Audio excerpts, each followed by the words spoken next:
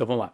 Hoje eu passei a manhã inteira relendo uma história que originalmente há mais de uma década eu li e achei um cocô. O caso é que eu não conseguia ver o Justiceiro com essa pegada bem humorada, sabe? Com esse humor misturado com violência. Eu, eu queria ver o Justiceiro sério, sabe? Tipo, indo atrás dos bandidos, com algum comentário social, alguma coisa assim. Eu lembro que um pouco depois eu resolvi ler a fase max do personagem, que também é escrita pelo Garfienes e também tem o mesmo capista. E isso eu acho que pode confundir muita gente, porque a fase max foi essa que a Panini publicou naqueles quatro Marvel Deluxe. Agora ela está trazendo de volta o que o Garfienes fez no Justiceiro antes do Marvel Max. Então esse, esses quadrinhos que tem aqui são ali mais ou menos anos 2000, 2001, enquanto a outra fase Max é lá de 2004. E agora você deve estar te perguntando, né, o que que... Mas, ok, o mesmo escritor pegou o mesmo personagem duas vezes, e numa vez ele escreveu um besterol, e na outra ele resolveu se levar a sério e fazer um, um gibi mais, mais elaborado. Então, o Garfienes diz que o que aconteceu foi o 11 de setembro. Né? A partir do, do atentado lá às Torres Gêmeas,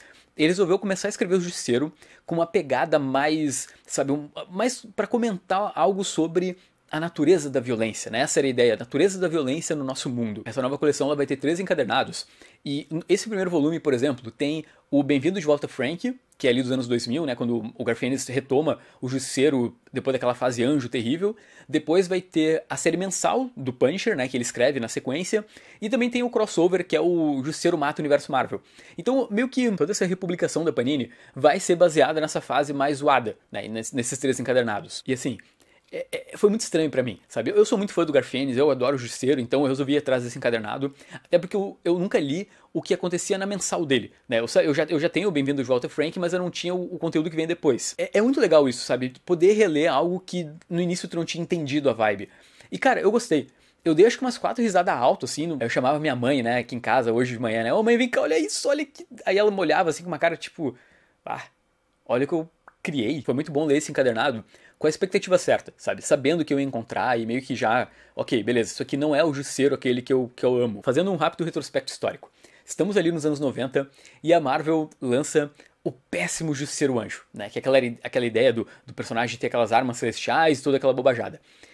Ok, os fãs não gostaram. E aí eles resolveram chamar a equipe criativa do Preacher, que era o Garfienes com Steve Dillon, para assumir o Justiceiro. Porque o próprio Garfienes disse que a única coisa da Marvel que ele podia escrever era o Justiceiro, já que ele odeia super-herói. Na verdade, sempre que aparece super-herói aqui na fase dele, é pra zoar. Cara, ele dá uma zoada no, no, no Demolidor, que eu fiquei muito triste. Mas, ok, fez sentido, e não tenha dúvida.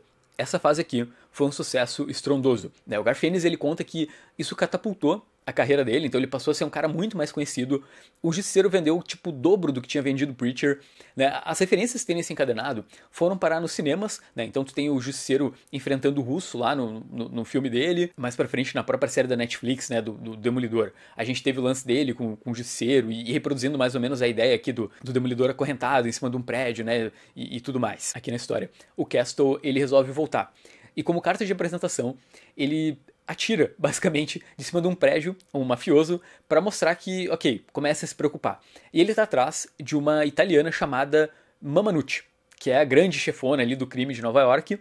Ao mesmo tempo, começam a surgir uh, novos vigilantes inspirados no justiceiro, e a polícia coloca o agente mais fracassado do mundo para tentar caçar o Castle e resolver a treta toda.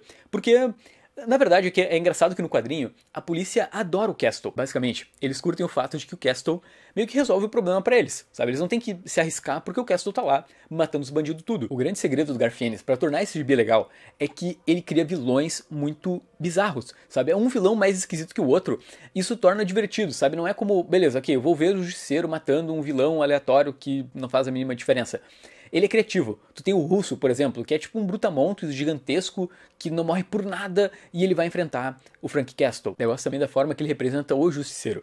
Porque, cara, ele não sorri em nenhum momento. Então é, é, cria até um certo contraste, sabe? Porque tu tem, um monte, tu tem um ambiente de muita piada e muita zoeira no quadrinho, mas ao mesmo tempo tu tem um cara, tipo, todo sisudo e pronto para cumprir uma missão, sabe? Ele não tá, tipo, ele, ele mal fala no, no gibi inteiro. Essa nova edição da Panini também tá bem completa, tu tem bastante extra, né? Então aqui no final tu tem um, que ele chama de manifesto do justiceiro, onde o Garfienes vai explicar o que ele quer fazer com o personagem. Depois tem ali também uma introdução do Jim Palmiotti. Tem, tem o próprio Garfienes dizendo como tu tem que encarar esse gibi. Né? Que ele, a ideia dele não é tipo, ah, vamos questionar os métodos do justiceiro, se ele é certo de fazer isso na sociedade. Não. Eu escrevi um gibi pra galera dar risada. E esse era o objetivo dele desde o começo. Tá, uma nota de 0 a 5 pra um gibi que eu achei horroroso e agora eu tô finalmente relendo e achei bem divertido. Assim, é, é difícil esquecer que existe o outro Justiceiro, que é o Marvel Max, que é 10 vezes mais legal, mais criativo, tudo é melhor. Mas se fosse pra avaliar esse gibi em si, cara, eu dou uma nota 4, 13,5 sabe? É, é, ele é divertido. Talvez esse encadernado, né, que é um master encadernado da Panini, né, e vão ser três edições, não vale tanto a pena se tu não for muito fã do Justiceiro. Tem que ver se essa pegada combina contigo, sabe? Eu vou colecionar porque ah, eu adoro o Justiceiro, então eu vou acabar pegando. Por mim, a Panini podia lançar tudo do personagem que eu ia acabar uh, colocando na coleção. E é uma leitura rápida, né? Vocês podem ver que eu li de manhã, então são, sei lá, umas 400 páginas mais ou menos. Eu li tudo numa tacada só. Eu acho que o ritmo da história também é muito bom, porque o tempo todo o Castle, ele abre as histórias já numa situação bizarra e aí tu já é jogado no meio de uma ação e ele tem que resolver de algum jeito aquilo ali. E, então isso torna o gibi bem, bem dinâmico. Mas é isso. Comenta aí embaixo qual, qual vibe do Justiceiro tu gosta mais? Tu curte a Marvel Max, com todo aquele comentário sobre a sociedade, ou tu curte ele galhofa? Ou, sei lá, eu sei que dá pra gostar dos dois, mas qual que tu curte mais? Lembra de deixar teu comentário aqui embaixo. E, assim, eu achei legal dar esse testemunho no vídeo, porque eu acho que muita gente vai se pega meio no contrapé, né? De, ok, é o mesmo capista, é o mesmo roteirista, né? O Garfienes e tal, e aí tu vai ler o negócio e é completamente diferente lá do Marvel Deluxe. Então eu achei que era legal de explicar, tá? Foi muito bom, te, muito bom te ter por aqui e até o próximo vídeo, tá? Tchau, tchau.